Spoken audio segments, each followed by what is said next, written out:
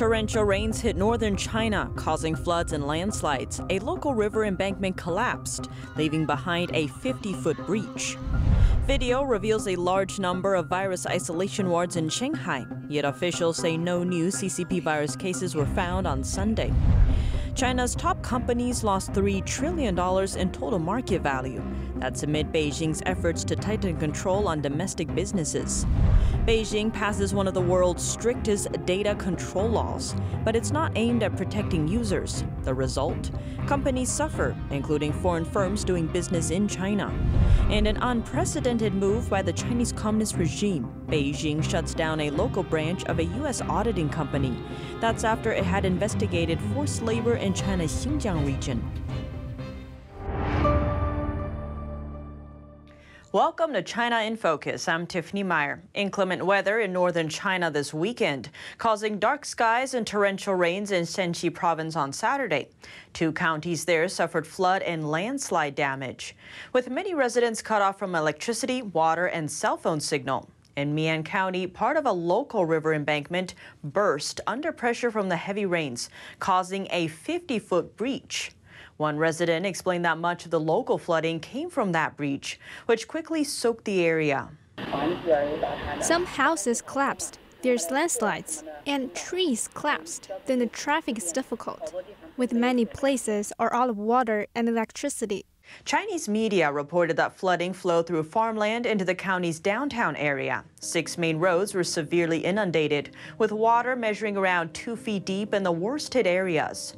More than 1,000 cars in the county were also submerged, and at least 60,000 people are out of water and electricity. Elsewhere in Sichuan County, floodwaters released from a local reservoir led to similar destruction. One video shows a section of collapsed road in the county, leaving behind a major road hazard. It's raining heavily. Sichuan's reservoir has discharged large amounts of floodwaters, and the country has been affected. According to Chinese weather reports, more torrential rain is expected to hit the region in the coming days. Central China's Henan province is also getting drenched by a second round of heavy rains.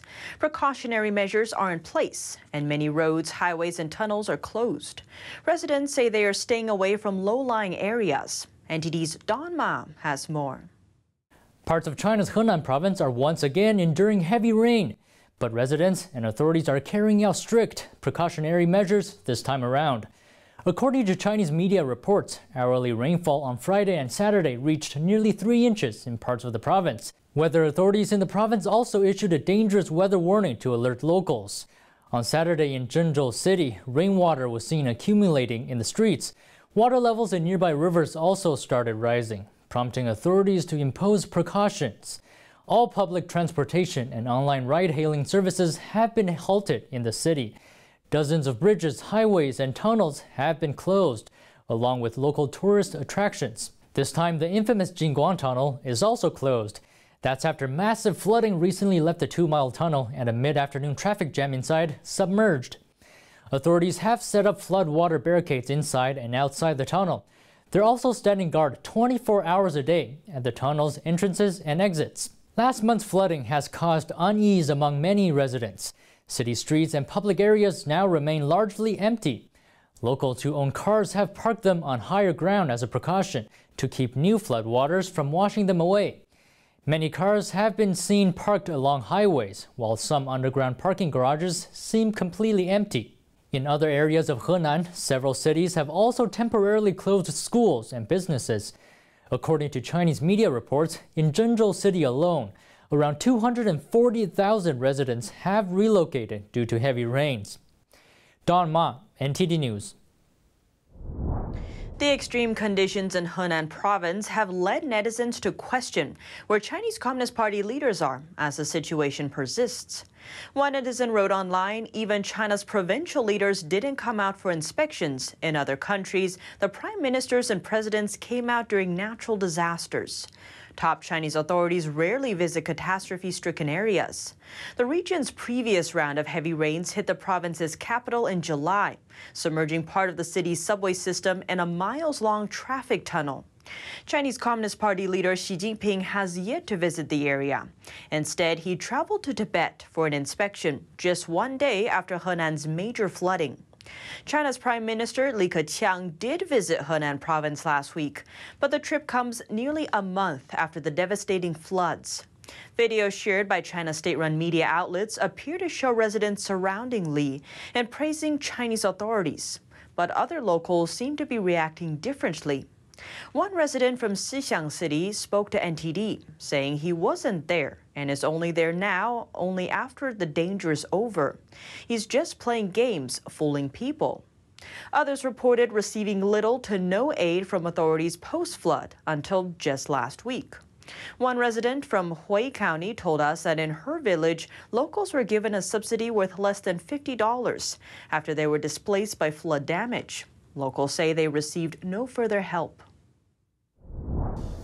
Beijing is announcing new data on its virus situation. On Monday, the city reported that no CCP virus cases had been found locally on Sunday. We call COVID 19 the Chinese Communist Party virus or CCP virus because CCP's cover up in the beginning of the pandemic led to the virus spreading around the world. As for the official pandemic figures coming out of China, NTD cannot independently verify the numbers. That's due to the regime's history of underreporting virus cases and its tight control over what information is released. Looking at China's megacity, Shanghai, authorities announced five confirmed CCP virus cases there over the weekend. All of the patients had been working in the cargo department of the Shanghai Pudong Airport. All five had been fully vaccinated with Chinese made vaccines. Since then, all cargo routes and services have been suspended, though the airport also announced that passenger flights are still operating as normal. Pudong Airport is the world's third biggest cargo airport and the biggest in China. Official reports didn't name the source of the outbreak. All airport staff were tested for the infection over the weekend. A video shared by one of China's state run media outlets captured the scene. It revealed a number of two story quarantine isolation wards, which had been placed nearby lines of staff waiting to get tested. A netizen also posted a related video on Saturday, showing that authorities appear to be working overtime to build more. Some netizens questioned whether Shanghai officials had prepared the isolation wards in advance, suggesting that they may have known about the airport's outbreak earlier than they let on. A violent episode in China's latest Delta variant hotspot, Yangzhou City. Volunteer lockdown security guards beat a man unconscious after a clash on Saturday. A police report says the man broke through a lockdown checkpoint on his electric bike, but he was soon stopped. He struck a guard, and that's when the fighting began. A video circulating online shows five guards in red vests grabbing the man by his hands and feet. A guard kicks him in the head and chest as he struggles. Then he passes out. He was reportedly then sent to the hospital. A resident near the scene told the Epoch Times the guards beat the man too hard.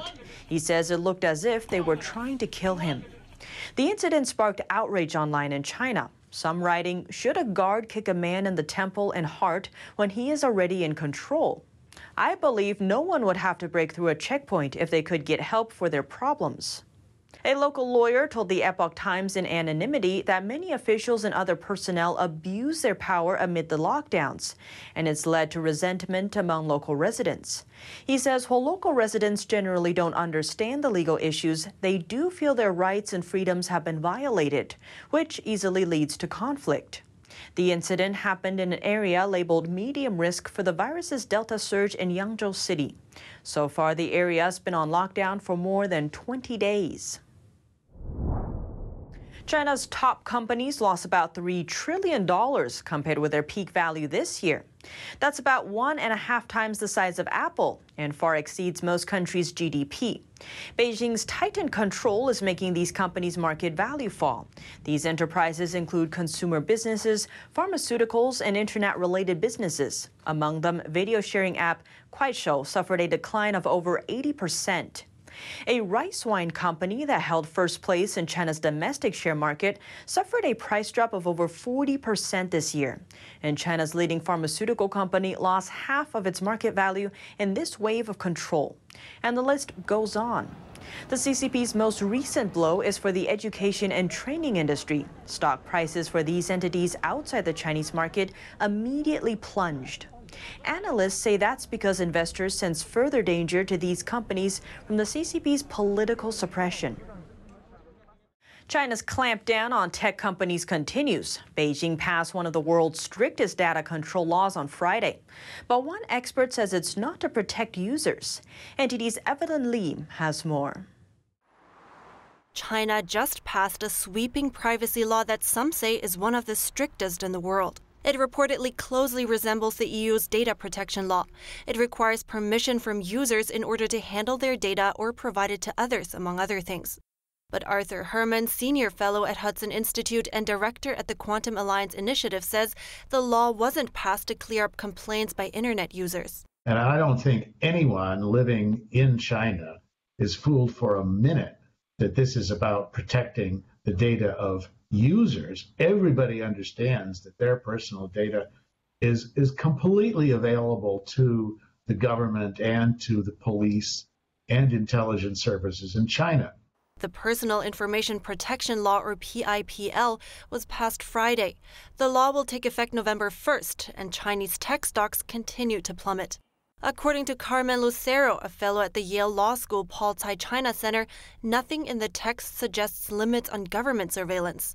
Herman says quite the opposite is the case. He says the regime is sending a message that ultimately Beijing is in control and that foreign investors can't influence Chinese companies. He thinks the real reason for the new law is to limit foreign companies' access to Chinese data. Data that they collect and their companies collect from American users, like TikTok, they see that data as perfectly uh, available uh, and uh, perfectly permitted for the government, the Chinese government, to use that data as part of its uh, building a strategic picture about America, uh, about our allies, Experts say that it's also part of China's ambition to become a tech superpower. So, in the end, this is really another stage in a high tech war between the U.S. and China. He adds that this could just be the opening shot. He expects Beijing to extend its control over Chinese companies while becoming bolder in gathering data from other countries, especially now that the Chinese regime sees the U.S. sliding away from global commitments in the light of recent events in Afghanistan.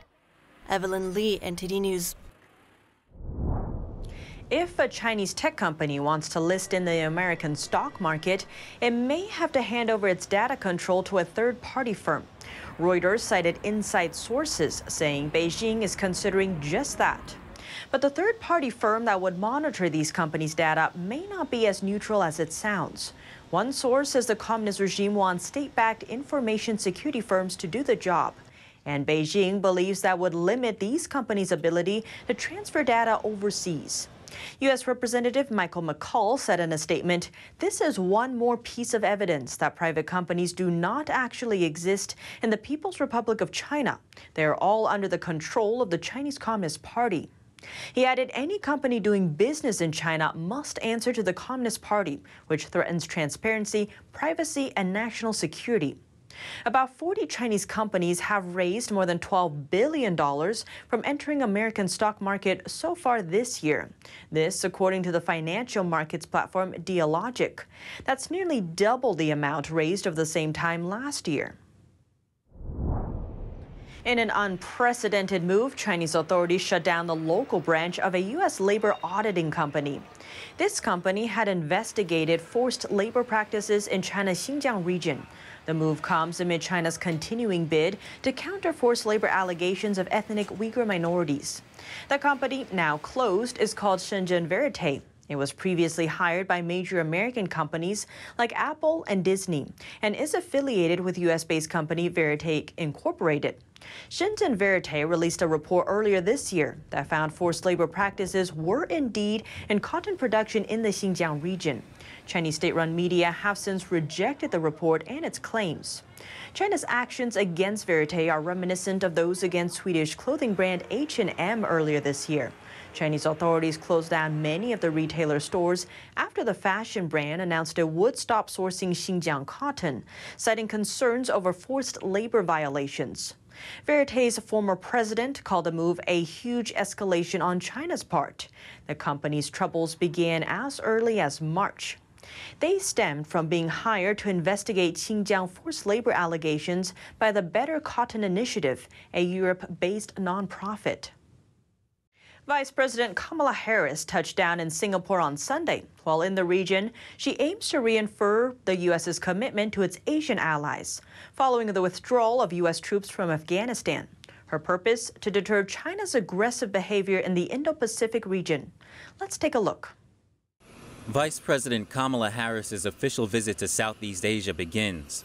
This comes amid concerns about the U.S. commitment to the Indo Pacific region, following the U.S. withdrawal from Afghanistan.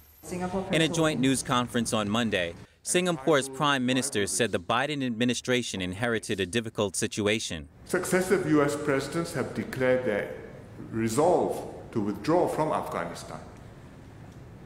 So I told the vice president that we understand President Biden's reasons for his decision. The U.S. intervention has stopped terrorist groups from using Afghanistan as a safe base for 20 years. For this, Singapore is grateful. The Prime Minister also offered assistance to the U.S. evacuation operation in Afghanistan. Harris's trip aims to deepen ties with Asian allies in a joint effort to counter the Chinese regime's continued aggression in the South China Sea. I am standing here in Singapore because of our commitment to a long standing relationship, which is an enduring relationship, with the Indo Pacific region, with Southeast Asian countries, and in particular with Singapore.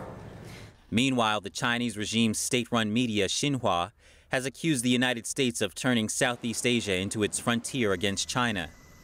Harris later visited Singapore's Changi Naval Base. Defense officials briefed her on the U.S. Singapore defense relationship. She will head to Vietnam after departing the country on Tuesday. According to the U.S. Embassy in Singapore, Harris will discuss with both nations issues including regional security, the CCP virus pandemic, and efforts to promote a rules based international order. The U.S. is condemning China's aggression towards Lithuania after the European nation expanded its diplomatic ties with Taiwan. U.S. Secretary of State Antony Blinken spoke with Lithuania's foreign minister in a call on Saturday. He said the U.S. supports Lithuania forging deeper ties with Taiwan. Earlier this month, China demanded Lithuania remove its ambassador from Beijing and withdrew its envoy from Lithuania. That's after Lithuania let Taiwan open a de facto embassy. In a statement on Saturday, the State Department described U.S. support for Lithuania in this conflict as ironclad.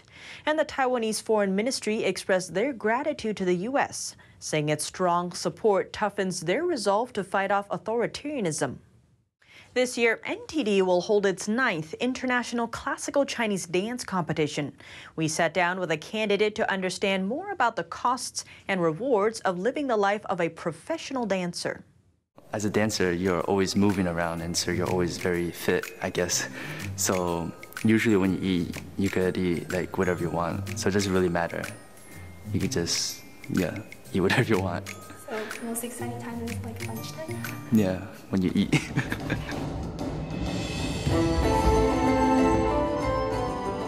19-year-old Michael Hu is from Feitian Academy of the Arts in upstate New York. Outside school, he goes on tour to perform around the world. His journey with classical Chinese dance didn't start out smoothly. I didn't really like it back then. The strict routine of a dancer didn't easily fit this teenage boy. We normally wake up around 7 to 8, and then we have our morning routine, which is like stretching, kicking, bar, combo, off bar, and all that stuff. And then we have lunch. Sometimes we have um, academics or more dancing. And then we have dinner. And then at night we have more dancing again. and you can self-practice if you want at night. All that stretching paid off when he started learning techniques.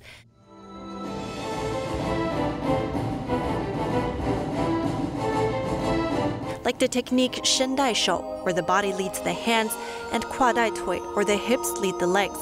These skills were once lost, but they're believed to reach the highest realm of artistic refinement. So you first use force from your body right here, then it goes all the way into your hands. It's like the girls' water sleeves. Like they um, do this and then the sleeves go out. He said this technique helps make the movements longer, bigger, and more beautiful on stage. Hu was born and raised in the US. He says at first it was hard for him to grasp some of the elements of classical Chinese dance. The teachers are always talking about the inner meaning, but I'm like, where's the inner meaning? But through studying it, entering the minds of characters he has to portray on stage, he began to get it. In the dance piece he prepared for this competition, Hu will play the best known tragic hero in ancient China, Xiang Yu. The cultural icon is portrayed in countless Chinese novels, poems, operas, and dramas.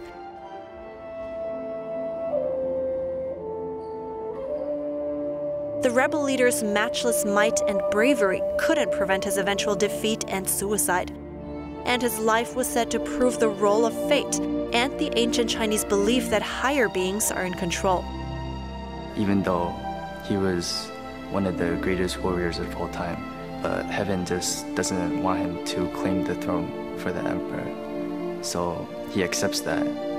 So he tells his fellow soldiers that it is not that I can't fight, it's that heaven doesn't want me to win.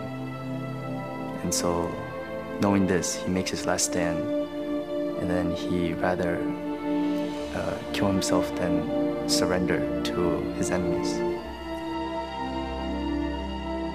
Xiang Yu's overbearing pride is seen as his fatal shortcoming, and Hu says he keeps reminding himself about this.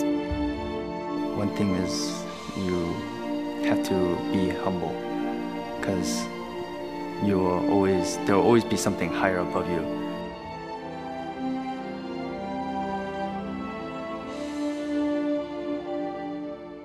Step by step, literally, Hu starts to understand what his teacher meant by dance's inner meaning.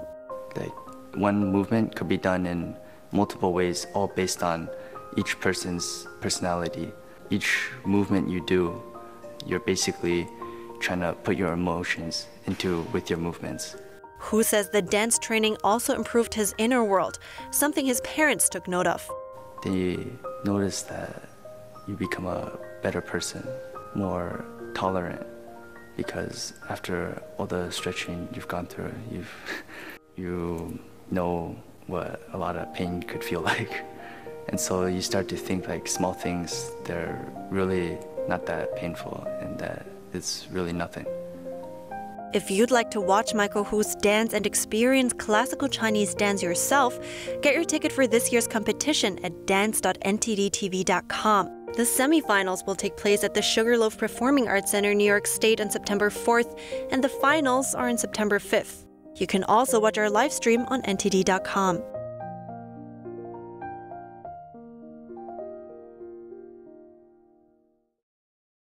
And that's all for today's China in Focus. But before you go, we have a short announcement. We have our premiere at 9:30 p.m. from Monday to Saturday on TV and our YouTube channel. NTD is available on many platforms, including cable TV, satellite, and over-the-air TV across the U.S., and it continues to grow. Please check out ntd.com slash TV. Type in your zip code to find all the ways you can watch our show. That's ntd.com slash TV. Thanks for watching and see you tomorrow.